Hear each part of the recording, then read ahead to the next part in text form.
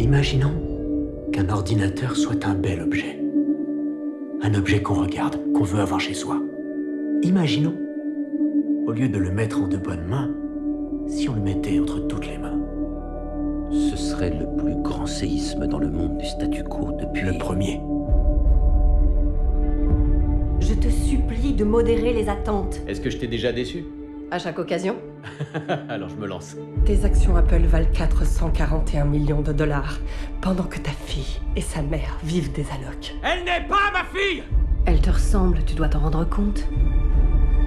On saura bien assez tôt si t'es Léonard de Vinci ou si tu te prends juste pour lui. Tu es la seule personne qui voit le monde comme moi. Personne ne voit le monde comme toi. Le monde entier attend le Mac. Qu'est-ce que les gens vont en faire? C'est de l'art abstrait. Ils vont en faire ça Tu donnes des ordres contradictoires. Tu es ingérable. Tu pourris la vie des gens.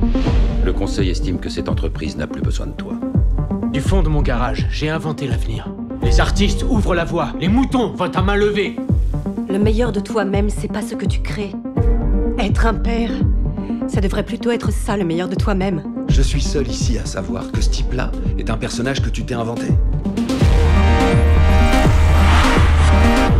Un plan d'action Le plan d'action te sera révélé quand tu seras prête. C'est officiel. Le retour de la superstar. Le cofondateur Steve Jobs. Steve Jobs. Steve Jobs. Reviens chez Apple. Les deux points culminants du XXe siècle La victoire des Alliés et ça. Mesdames, Messieurs, Steve Jobs.